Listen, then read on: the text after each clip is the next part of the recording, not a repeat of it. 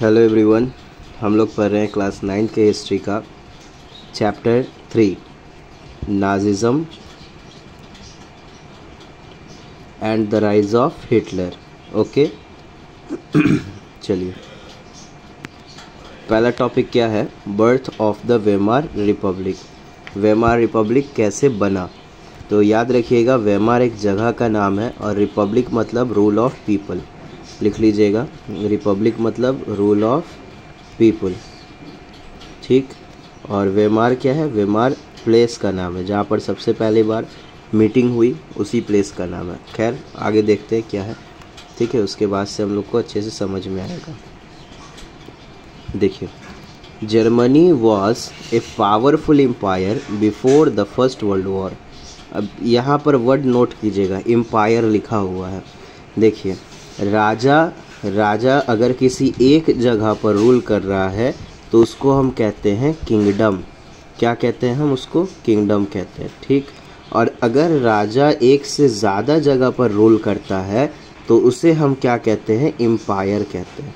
क्या कहते हैं? एम्पायर कहते हैं, ठीक? तो बात होती है कि फ़र्स्ट वर्ल्ड वॉर से पहले फ़र्स्ट वर्ल्ड वॉर कब हुआ? 1914 से 1918 तक।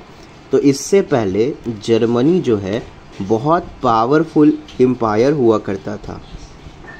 ठीक है? बात समझ में आई? है ना? एम्पायर मतलब समझ रहे हो ना, राजा का रूल है वहाँ पर। 1914 से पहले, यानी कि फ़र्स्ट वर्ल्ड वॉर से पहले वहाँ पर किसका रूल है? Rule of king rule of king ठीक? चलिए। सेकंड पॉइंट क्या है? First World War was fought between central power and allies अब देखिए, पहला जो वर्ल्ड वॉर आपका हुआ ना, वो दो यूरोपियन पावर के बीच हुआ। एक तरफ़ थे सेंट्रल पावर्स और दूसरे तरफ़ थे अलाइज सेंट्रल पावर में कौन कौन जर्मनी, ऑस्ट्रिया और ओटोमन टर्की ठीक है? और अलाइज की तरफ़ कौन कौन थे? इंग्लैंड फ्रांस एंड रशिया और बाद में नवंबर 1917 में यूएस ने भी इस वर्ल्ड वॉर को ज्वाइन किया और फाइनली 1918 में due to the help of US United States finally world war first ख़त्म हुआ। ओके यानी कि एक तरफ़ मोनार्की वाले लोग हैं सेंट्रल पावर जर्मनी में भी एम्पायर का रूल था ऑस्ट्रिया ओटोमन टर्की तीनों में। और इधर इंग्लैंड फ्रांस रशिया यहाँ पर उस टाइम तक जो आपकी लिबर्टी का कॉन्सेप्ट है डेमोक्रेसी का कॉन्सेप्ट है, ये आ चुका था। तो ये पहला फ़र्स्ट इंडस्ट्रियल वॉर था। ये जो आपका फ़र्स्ट वर्ल्ड वॉर था, ये पहला इंडस्ट्रियल वॉर था।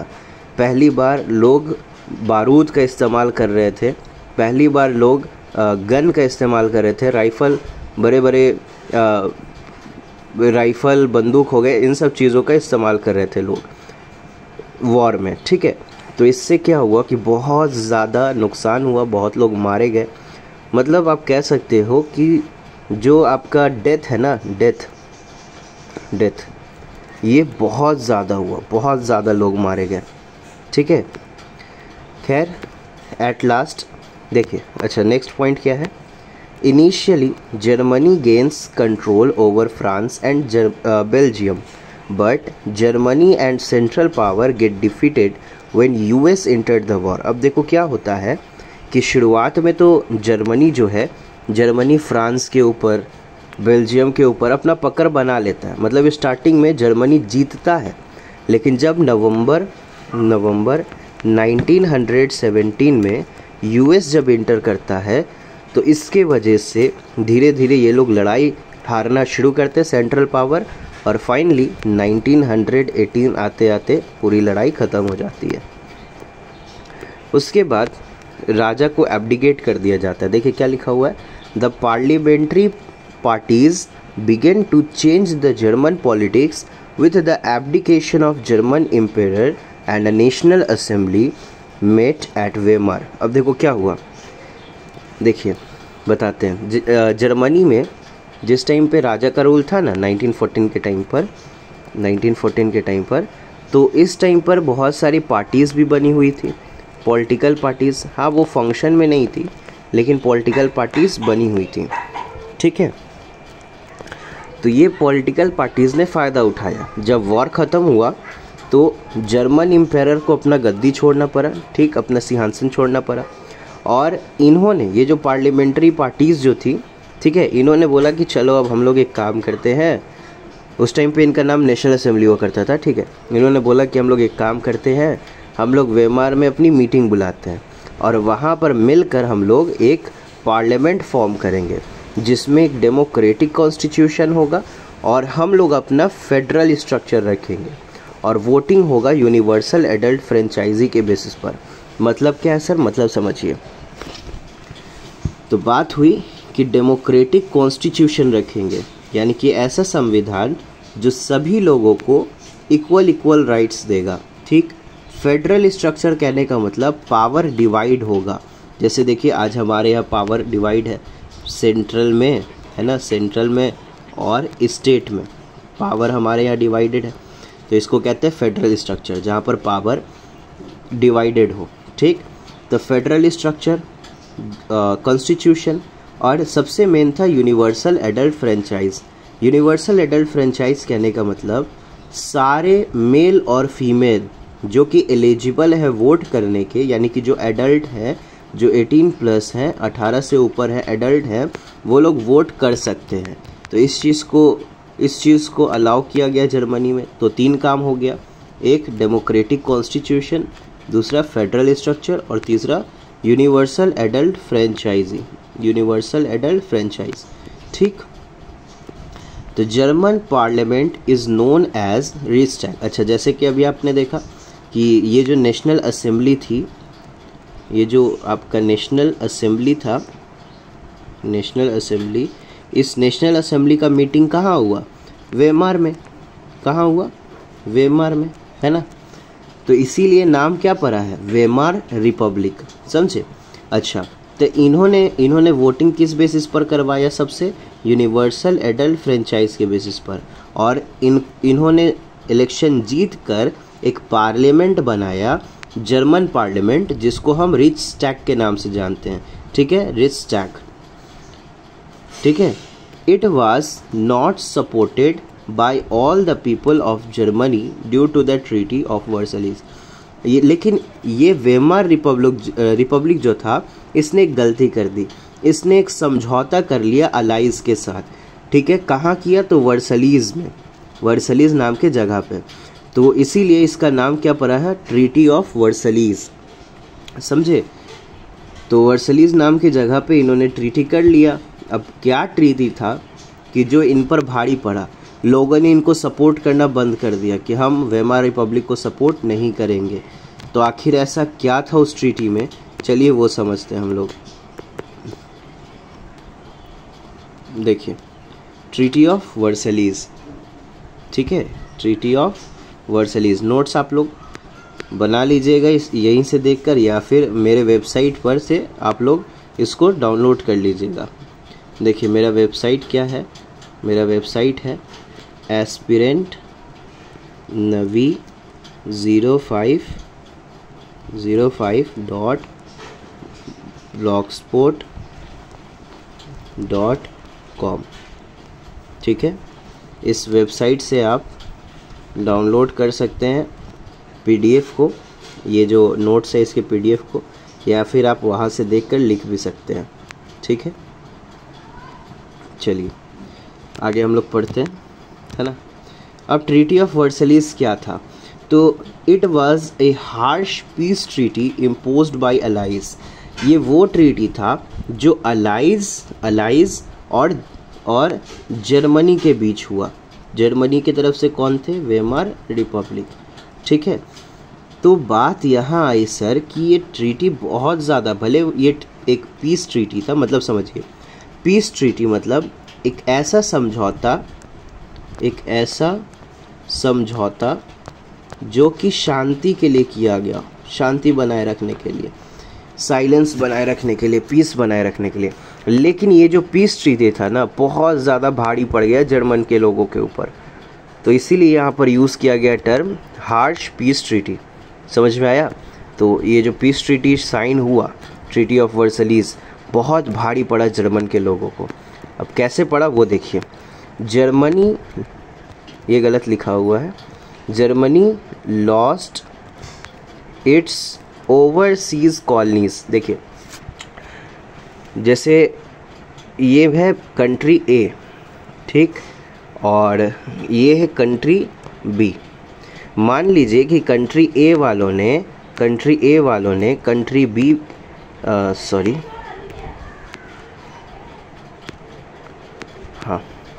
country A वालों ने, मान लीजिए कंट्री बी के कुछ जगह को अपने कंट्रोल में कर लिया। मान लीजिए, इतने जगह पर अपना गवर्नमेंट चला रही है कौन? कंट्री ए तो ये जो पर्टिकुलर जगह है आपका, ठीक है?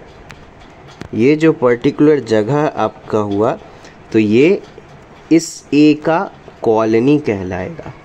क्या कहलाएगा? कॉलोनी ठीक है, कौन सा वाला पार्ट तो ये वाला पार्ट ठीक है, क्या कहलाएगा? कॉलोनी ऑफ़ ए तो जर्मनी ने भी बहुत सारे अदर अदर कंट्रीज़ पर अपना अपना गवर्नमेंट बनाया हुआ था, जिसको हम क्या कहते हैं? जर्मन कॉलोनीज़ तो जब ये पीस ट्रीटी साइन हुआ ट्रीटी ऑफ़ वर्सलीज तो उसके वजह से जर्मनी का जो भी अपना कॉलोनी वगैरह हुआ करता था, उन सबको अलाइज ने अपने कंट्रोल में ले लिया, ठीक? उसके बाद one by tenth of German population, यानी कि एक बटा एक बटा दसवां हिस्सा जो है जर्मन पॉपुलेशन का, इसको भी अलाइज ने अपने कंट्रोल में ले लिया। ठीक है? यानी कि अगर जर्मनी का पॉपुलेशन सौ रहा होगा तो इसका दसवां हिस्सा। ठीक है? यानी कि दस। इतना पॉपुलेशन अलाइज ने ले लिया। तो जब आपके पास पॉपुलेशन ही नहीं रहेगा काम करने के लिए लोग ही नहीं रहेंगे तो आपकी इकोनॉमी कैसे आगे बढ़ेगी, है ना? उसके बाद तेरह परसेंट जो है जर्मनी की ज़मीन भी उन्होंने ले लिया। यानी कि अगर ये सौ परसेंट हिस्सा है ज़मीन का तो इसका तेरह परसेंट हिस्सा अलाइज ने इस पीस ट्रीटी के अकॉर्डिंग अपने अंडर में ले लिया, समझे? उसके बाद सेवेंटी फाइव परसेंट आयरन और छब्बीस परसेंट कोल इसको भी उन्होंने ले लिया according to the peace treaty अब सोचिए, आपके पास इंडस्ट्री है और इंडस्ट्री में अगर आपको मशीन बनाना है तो आप मशीन किस चीज़ से बनाओगे? ऑब्वियसली आयरन से बनाओगे, है ना? आयरन एंड स्टील से। आयरन तो ले लिया आपका। अच्छा अगर आप बाहर से मशीन ख़रीद भी लेते हो तो वो किस पर चलेगा? कोयला पर। लेकिन कोयला भी आपका ले लिया। ठीक है? अच्छा ये सारा चीज़ बटा किन लोगों में? तो फ्रांस में बटा पोलैंड, डेनमार्क और लिथुआनिया। जो भी आस पड़े आस पड़ोस के लोग थे, जर्मनी के, उनमें ये सारी चीज़ें बट गई। क्या क्या बटा? कॉलोनी, दूसरा, पॉपुलेशन, तीसरा, टेरिटरी, और चौथा, आयरन, और पांचवा, कोयला। समझे? अच्छा और भी हुआ इनके साथ बुरा हाल। क्या हुआ? कि इन पर जो है, वॉर कंपनसेशन लगा दिया गया। अलाइज ने क्या कहा कि देखिए, लड़ाई तो आपके वजह से स्टार्ट हुआ। आपने ही सबसे ज़्यादा नौटंकी किया। तो अब जितना भी हमारा खर्चा लगा है, ठीक है? यानी कि लड़ाई में, अलाइज में जितने भी कंट्रीज़ थे, उनका जितना भी खर्चा लगा है, वो सारा का सारा खर्चा जर्मनी को पे करना होगा, जो कि है सिक्स सिक्स बिलियन पाउंड समझे? इतना रुपया जर्मनी को एज अ वॉर कंपनसेशन वापस करना होगा अलाइज को। ठीक है? ऊपर से अलाइज ने क्या किया? अलाइड की जो आर्मी थी ना, सेना थी ना, उसने जर्मनी वालों का सबसे ज़्यादा रिसोर्स वाला जो एरिया है, वो है रहाइनलैंड उसको अकुपाई कर लिया। बोला कि अब ये हमारे पास रहेगा। ये गलत स्पेलिंग है ऑक्यूपाइड का सही कर लीजिएगा। O double C U P I E D occupied ठीक है? तो कितना सोचो, कितना ज़्यादा बदमाशी हो रहा है कि आयरन भी ले लिया, कोयला भी ले लिया, फिर पॉपुलेशन भी ले लिया, ज़मीन भी ले लिया, इन पर कर्ज़ा भी चढ़ा दिया और इनका जो रिसोर्स वाला एरिया था, जिसे थोड़ा बहुत ये कमा लेते हैं, उसको भी अपने कंट्रोल में ले लिया। तो यही सारा वजह है कि इस ट्रीटी को, इस ट्रीटी को ह्यूमिलिएटिंग ट्रीटी कहा जाता है। मतलब सबसे भयानक ट्रीटी सबसे भयानक समझौता और डिसग्रेस ट्रीटी भी कहा जाता है। मतलब बहुत बेइज्जती करने वाला, यानी कि डिसऑनर करने वाला ट्रीटी समझे, एक ऐसा ट्रीटी जो आपका डिसऑनर करता हो, यानी कि आपका बेइज्जती करता हो। आई होप आपको समझ में आया होगा, है ना? चलिए, अब क्या है the effects of the war अब जो फ़र्स्ट वर्ल्ड वॉर हुआ तो उसका क्या क्या इफ़ेक्ट रहा? The war had a very bad impact बहुत बुरा प्रभाव पड़ा यूरोप के कंट्रीज़ पर। हुआ ऐसा कि पहले पहले यूरोप की जो कंट्री थी ना, ये लोगों को कर्ज देती थी। लेकिन अब ये हाल हो चुका था कि ये लोग खुद कर्जे में डूब चुके थे यूरोप के कंट्रीज़ और ये सब जो भी प्रॉब्लम हुआ ना वॉर के बाद, जो भी इम्पैक्ट पड़ा वॉर के बाद यूरोपियन कंट्रीज़ पर इन सब का ज़िम्मेदारी वेमार रिपब्लिक पर चला गया, जो कि जर्मनी में नया नया ताज़ा ताज़ा पावर में आया है है ना? तो कैसे गया भाई कि सारा का सारा लड़ाई झगड़ा का खर्चा, यानी कि वॉर कंपनसेशन ठीक है? वॉर कंपनसेशन सारा का सारा छः बिलियन पाउंड का किन पर थोप दिया गया? तो जर्मनी के ऊपर। समझ में आया? तो बहुत बुरा प्रभाव पड़ा। तो जो जो लोग जो लोग वेमार रिपब्लिक को सपोर्ट करते थे, उनको नवंबर क्रिमिनल्स कहा जाने लगा। सोचो, अपने ही देश में बेइज्जती होना शुरू हो गया। तो पहले तो भाई सोसाइटी का हाल एकदम ख़राब हो गया था। दूसरा, लोग वेमार रिपब्लिक को नवंबर क्रिमिनल्स करके चढ़ाते थे। इनके जो सोशलिस्ट जो थे, इनके सपोर्टर कैथोलिक्स डेमोक्रेट्स ये सारे लोगों को नवंबर क्रिमिनल्स बोल बोल कर लोग चिढ़ाते थे। क्योंकि पीस ट्रीटी नवंबर में साइन किया तो इनकी बेवकूफ़ी थी, ऐसा लोग चिढ़ाते थे। ठीक है? और ऊपर से क्या हो गया? समाज में समाज में सोल्जर लोग को सिविलियन से ज़्यादा इज़्ज़त दिया जाने लगा। ठीक है? सिविलियन से ज़्यादा इज़्ज़त दिया जाने लगा। देखो, होता क्या था ना कि अब नेता लोग जो है आपके, मीडिया है, ये ज़रा ज़रा सा बात को एकदम ऐसा करके दिखाता है कि लोगों को लगता है कि यही सच्चाई है। तो मीडिया और पॉलिटिशियन ने ट्रेंच लाइफ को ट्रेंच लाइफ को, यानी कि सोल्जर लोग जहाँ पर रहते हैं ना तो उनकी ज़िंदगी को बहुत ज़्यादा ग्लोरीफाई किया कि अरे बहुत अच्छी लाइफ है, बहुत अच्छा है एकदम, बहुत बढ़िया इन लोग लाइफ जीता है। ठीक है? इज़ लैविश कि जो सोल्जर की लाइफ है ना, एकदम लैविश लाइफ है खूब ठाट बाट से रहते हैं। लेकिन ऐसा सिचुएशन नहीं था, इसका जस्ट अपोजिट था। क्या था सिचुएशन देखिए। जो सोल्जर्स की लाइफ थी ना, बहुत दुख भरी थी, बहुत परेशानी से थी। उन लोग को मतलब ट्रेंच में रहना पड़ता था। देखिए ट्रेंच क्या होता है? मैं आपको दिखाता हूँ यहाँ पे बना के, देखिए। ये मान लीजिए कि ये ज़मीन है आपका, ठीक? ज़मीन में आप नीचे क्या किए? गड्ढा खोद दिए। क्या किए? गड्ढा खोद दिए। एक तरफ़ से सीढ़ी रखे हम आने का, ठीक है? और दूसरी तरफ़ से सीढ़ी है बाहर जाने का। और ऊपर से हम इसको प्लास्टर करके पूरा कवर कर दिए। पूरा प्लास्टर करके कवर कर दिए। ठीक है? पूरा प्लास्टर करके हम इसको कवर कर दिए। अब देखो, अब क्या होगा? अब क्या होगा कि सोल्जर जो है आपके इधर एक बेसमेंट ऊपर बना के रखा जाता है। तो इस पर चढ़ेंगे सोल्जर लोग। अब इधर फायरिंग करेंगे अपना। समझे? इधर बंदूक निकाल के फायरिंग करेंगे, दुश्मन सेना को। और लेकिन दिक्कत ये है कि आने का रास्ता एक ही है, जाने का रास्ता एक ही है। आप बाहर निकलोगे तो आपको दुश्मन मार देगा।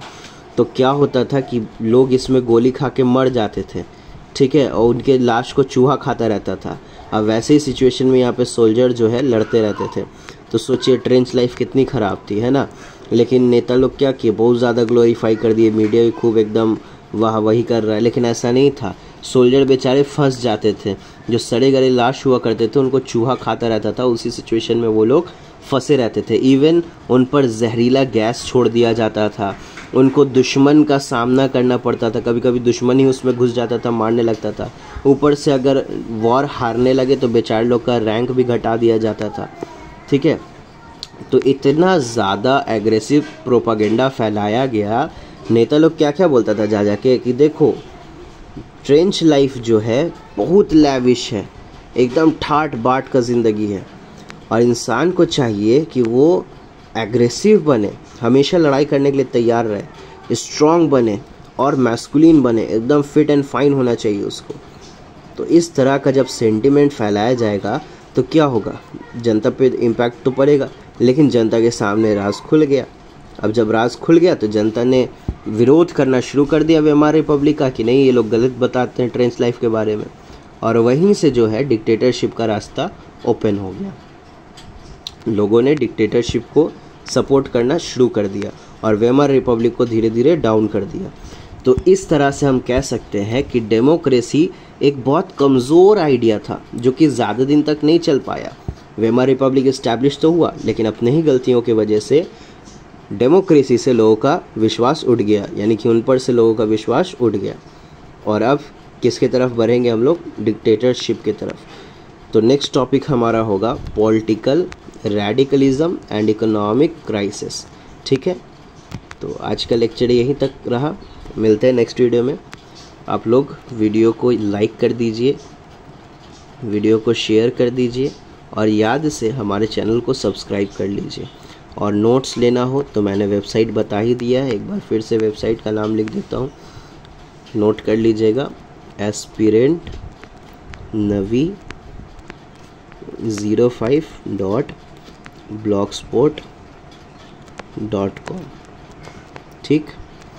तो इस वेबसाइट पे आपको नोट्स भी मिल जाएगा और ये सारा वीडियोस भी वहाँ पे मिल जाएगा। ठीक है?